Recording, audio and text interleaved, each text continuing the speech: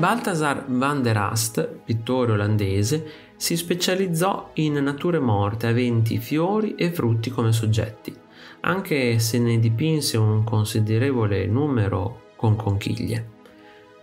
A tal proposito è considerato un pioniere nella rappresentazione di questo genere. Le sue nature morte contengono inoltre spesso insetti e lucertole.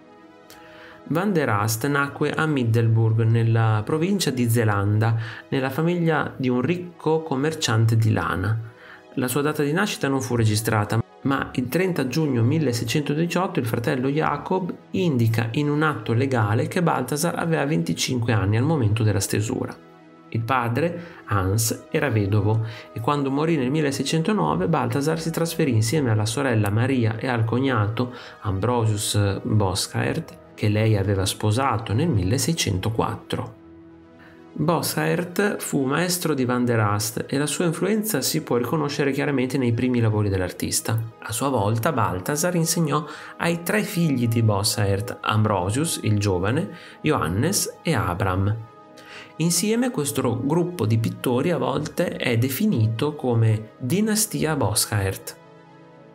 In genere le nature morte di frutta italiane e francesi del XVII secolo tendono a una descrizione strettamente oggettiva dei fenomeni reali. Gli olandesi, invece, erano ancora nella tradizione del simbolismo mascherato, come qualcosa che dava spessore alla precisione empirica. La canestra di frutta di Balthasar van der Ast, ad esempio, contiene sufficienti elementi aggiuntivi per dimostrare che l'artista è interessato a qualcosa di più di una resa realistica. Il tema della cosiddetta vanitas è enfatizzato dalla presenza di ammaccature, macchie e vermi, oltre che da insetti come farfalle, libellule e mosche nonché da una lucertola, una presenza piuttosto insolita su un tavolo che sta rosicchiando una delle mele fuori dal cesto. L'uva, naturalmente, ha spesso un riferimento cristologico. Se poi consideriamo che nel contesto della Vergine Maria le mele simboleggiano la redenzione e la vittoria sul peccato, mentre gli insetti e le lucertole erano spesso associati al principio del male, allora questo innocuo motivo quotidiano si trasforma improvvisamente in una scena, anche se su scala minore, del bene contro il male nella storia della salvezza.